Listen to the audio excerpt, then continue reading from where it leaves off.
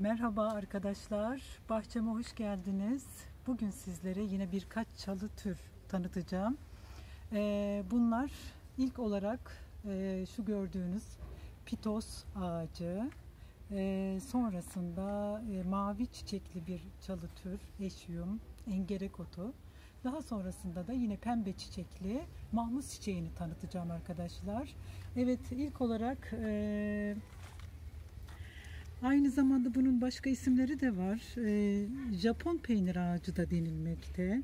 Avustralya defnesi de denilmekte arkadaşlar. Ve şu günlerde Nisan-Mayıs gibi çiçek açıyor.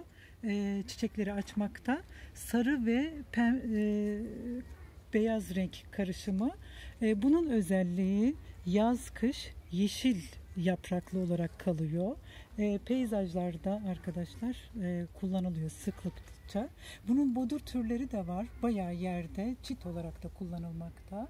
Belki peyzajlarda, parklarda, bahçelerde rastlıyoruzdur ama e, belki ilgi alanımızda olmadığı için e, belki görmemişiz diye düşünmüş olabilirsiniz ki e, ben bitkileri tanıdıktan sonra e, gözümün önündeki birçok bitkinin farkına vardım.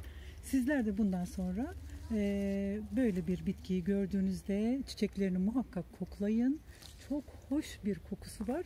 E, kokusunu zaten e, e, sevdiğim için ben de bunu edindim. Aldığımda e, üçte bir boyutundaydı. Bahçeme diktikten sonra bayağı büyüdü gördüğünüz gibi. E, bundan sonra ben devam edeyim. Alayım size bahçemde yavaş yavaş şöyle benim objektifimle şöyle biraz görüntüleyelim. Gördüğünüz gibi bu yapraklar kışında böyle yeşil. Avustralya defnesi de deniliyor. Evet arkadaşlar bahçem bayağı canlandı. Gördüğünüz gibi mor mor gördüklerinizde çan çiçeği doğal bir çan çiçeği bu arkadaşlar. Şu anda harika açtılar. Kışa dayanıklı. Şöyle bayağı bir yerlerde e, marul gibi oldu kökten rizomlarla artmakta. İstediğiniz yere konumlandırıp orada böyle mor heykeller oluyor. Bahçede hoş bir görünüm sunuyor. Şöyle alalım. Bu fuşya karanfilimi de böyle buraya konumlandırdım. Morlarla beraber güzel gözüksün diye. Bir de şöyle bir kampanula var. Bu da çan çiçeği. Onu da şöyle görüntüleyeyim. Bunu da buraya astım ağaca. Böyle arada renkler gösteriyorum arkadaşlar. Ceylan gözü. Evet. Şimdi mavi çiçekli e, çalı tür dedim.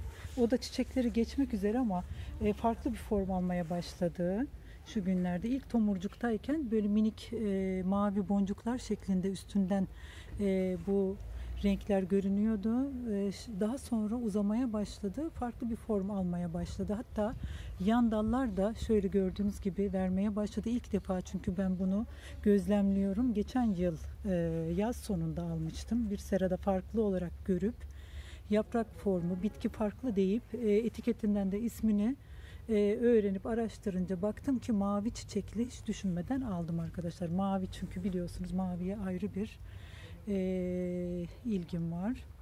Eşyum, e, eşyum, rescens e, şey de deniliyor. Kendi içinde birçok türleri var tabi. E, engerek otu da denilmekte. Kırlarda farklı bir türü var yine engerek otunun. O değil yani mor koyu mavi çiçekli.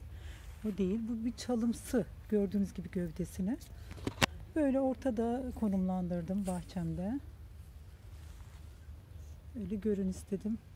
Ee, özellikle farklı farklı türleri e, yaşamak istiyorum arkadaşlar. Hani böyle gözlemleyerek tanımak istiyorum. O şekilde hani dekor yapsam bahçede çok daha farklı tabii konumlandırırız. Her yere ne yakışır renklerine göre konumlandırırız ama şu anda e, çiçekler nerede yaşar, nerede büyürler ona göre bir e, yer tespit edip ona göre dikiyorum. Evet e, bir önceki videomda bu süsen e, çektiğimde e, yarı açıktı. O zaman da söylemiştim açtığında görüntülerim harika. e, bordo bir renkte çıktı. Bu da ilk defa e, böyle açtı. İki yıl oldu bir arkadaş göndermişti. Ancak e, bu süsenler iki yılda yani bir yıl kesinlikle bir alışması gerekiyor. İkinci yılında açıyorlar arkadaşlar. Şöyle gördüğünüz gibi görün istiyorum. Çok da güzel kokuyor. Eski tarihlerde hala daha da yapıyor yapıyor olabilirler. Ee, köklerinden parfüm yapıyorlar süsenlerin. Harika kokuyor. Evet, e, pembe çiçekli e, mahmus çiçeği e, videonun başında söylemiştim. Pembe çiçekli mahmus çiçeği Latincesi Centranthus ruber, ruber e, Güney Avrupa'ya özgü bir tür. Yani çalı ile ot arasında otçul e, her iki arasında bir tür. Çünkü göründüğü zaman şöyle baktığınızda formu e, sanki çalı tür gibi gözüküyor ama e, e, dalına tuttuğunuz zaman şöyle çıt diye kolay kırılan otsu bir tür. Sanki sukulentimsi. E, çiçek şu arka tarafta e, sürgünleri görüyorsunuz. Yeni tomurcukta olanları. E, onda nasıl olduğunu görün. E, karşılıklı intizamlı e, dizili yapraklar var. E, tomurcukları da böyle bu şekilde arkadaşlar. Bunu bana e, yani e, doğal olarak e, Giresunlu bir seracı vardı. Köyünden getirmiş kendisi öyle özel olarak kendine. Böyle e, az önceki çan çiçekleri, boylu çan çiçekleri de aynı şekilde köyden Karadeniz'de. E, bu da öyle. E, gerçi bu bitkinin çok yaygın bir e, dağılımı var. Yani her yerde olabiliyor. Tohumları uçtuğu zaman kaya ara, taş aralarında da büyüyebiliyor. Ama gerçekten e, çok e, nazsız bir tür. Kışa da dayanıklı.